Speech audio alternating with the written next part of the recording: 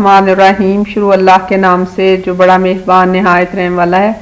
तो प्यारे बच्चों, रस्तु एक बहुत मशहूर फलसफी था। उसका कहना है कि हम क्या हैं जो हम बार बार करते हैं?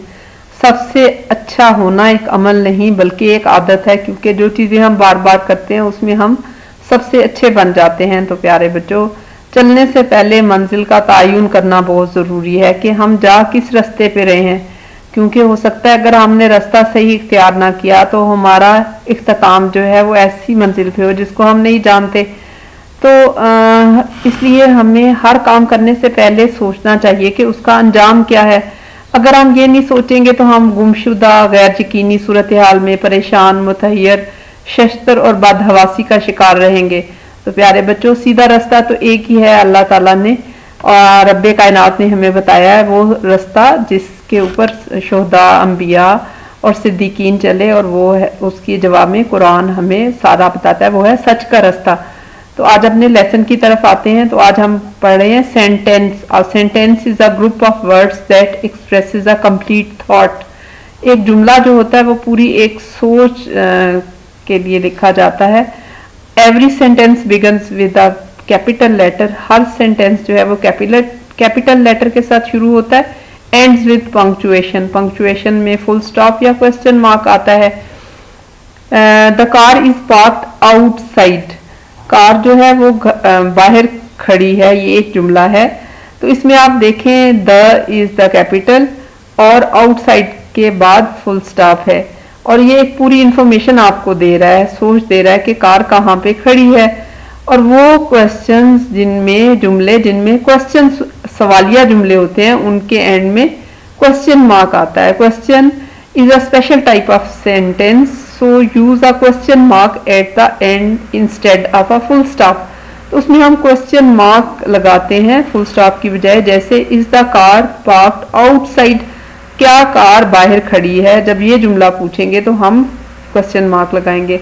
अब अपनी थोड़ी सी आप असेसमेंट करें कि आप ये जुमले बेतरतीबी से लिखे हुए हैं। इनमें आपने कैपिटल लेटर फुल स्टॉप लगाना है और जहाँ ज़रूरत हो तो क्वेश्चन मार्क लगाना है। आई डॉग आ हैव ये एक जुमला है। इसको तरतीब से आपने लिखना है और इसमें जो अभी हमने दो रूल्स पढ़े थे उनका ख्याल रखना है। वीडियो यहाँ पे स्टॉप करें कॉपी पेंसिल लेके इसको लिखें। तो इसका सही ये आएगा I have a dog I is capital और डॉग के एंड में फुल स्टॉप है। Next is name is it's Rex तो यहाँ पे भी ये जुमला बेतरतीबी से लिखा हुआ है, आप इसको तरतीब से लिखें और इसके पंक्चुएशन मार्क्स भी लगाएँ। वीडियो यहाँ पे स्टॉप करें। कॉपी पेंसिल लेके लिखें। शाबाश इट्स नेम इज़ रेक्स यानी डॉग कुत्ते का नाम क्या है? रेक्स है। तो हमने इसको सही तरह से लिखा। नेक्स्ट है कलर इज़ इट्स ब्राउन अब आपको यहाँ पे वीडियो स्टॉप करनी है। इसमें हम जो पहले प्रोनाउन और वर्ब और वर्ब टू भी है, उन सब का इस्तेमाल कर रहे हैं। तो शाबाश, आपने ठीक लिखा होगा इट्स कलर इज़ ब्राउन जुमला जो है, इस तरह से सही बनता है। Next is dog my eats meat तो कुत्ते जो हैं, वो गोश्त खाते हैं। तो आपका कुत्ता भी गोश्त खाता है। तो इसको किस तरह से सही तरीके से लिखेंगे वीडियो यहाँ पे स्टॉप करें।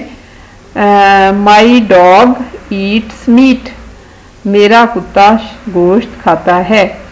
नेक्स्ट सेंटेंस है play I my with dog इसको आपने ठीक तरह से लिखना है। यहाँ पे वीडियो स्टॉप करें।